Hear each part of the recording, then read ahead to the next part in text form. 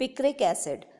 Picric acid two, four, six tri nitrophenol को हम picric acid कहते हैं क्योंकि तीन नाइट्रो ग्रुप्स की प्रेजेंस में जो फिनॉलिक ग्रुप का एच है, वह बहुत अधिक एसिडिक हो जाता है और बहुत जल्दी से इसमें से प्रोटीन निकल जाता है और इसकी एसिडिटी बहुत अधिक ये शो करता है।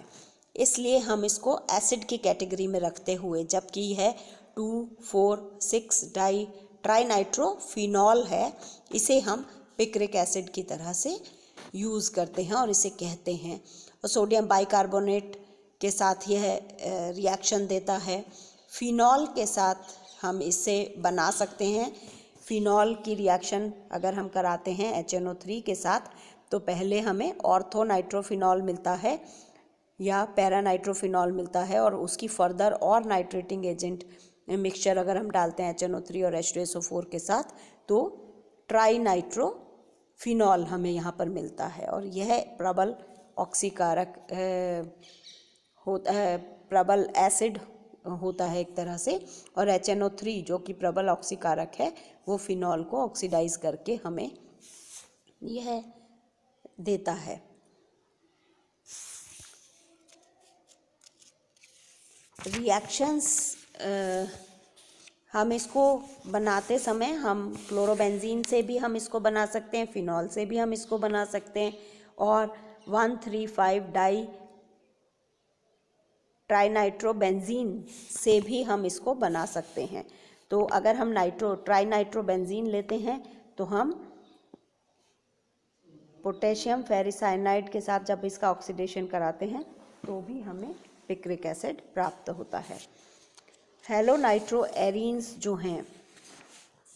हेलो नाइट्रो एरीन्स यानी अगर नाइट्रो बेंजीन पर क्लोरो या कोई और हेलोजन एटम लगा हुआ है तो उसकी प्रेजेंस में इनकी जो रिएक्शन है, वो किस प्रकार होती है और उसकी रिएक्टिविटी क्या होती है, इसका हम अध्ययन करते हैं।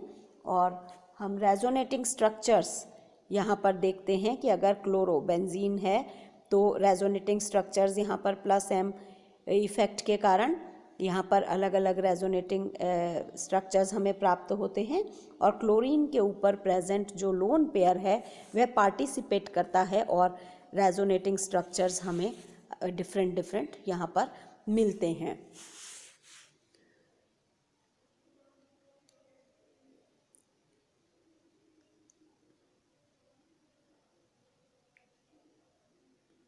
इसलिए आगे हम देखते हैं क्लोरोबेंजीन के ऊपर जो हम रिएक्शन कराते हैं एन की या अमोनिया की या के की तो हमें क्लोरो जो ग्रुप है, वह हम उसमें रिप्लेस कर सकते हैं।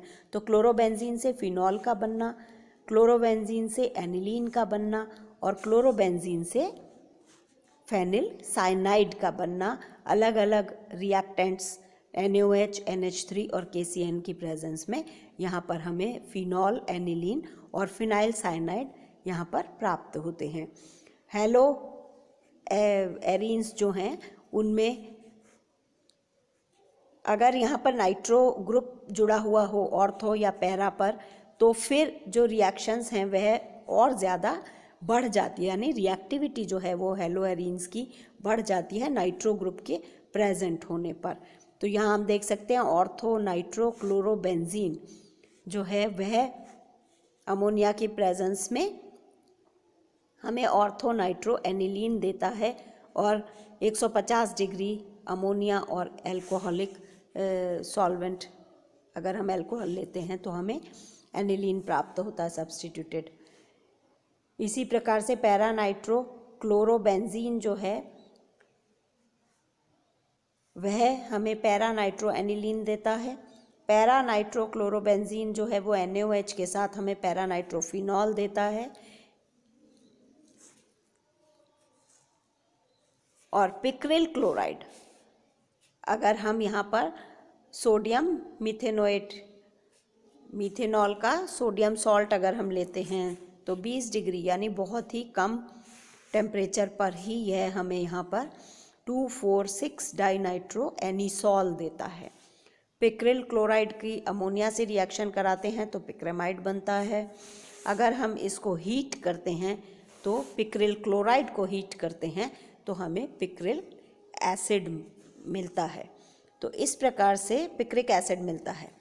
तो ये पिक्रिक एसिड की कुछ रिएक्शंस हैं, उनका सिंथेसिस और उनकी अभिक्रियाएँ किस प्रकार होती हैं और क्लोरो की प्रेजेंस में जो नाइट्रो एरिन्स हैं, उनकी रिएक्टिविटी किस तरह से चेंज होती है और इसकी एसिडिटी और रिएक्टिविटी को हमें समझना और इसकी केमिस्ट्री को डिस्क्राइब करना आना चाहिए।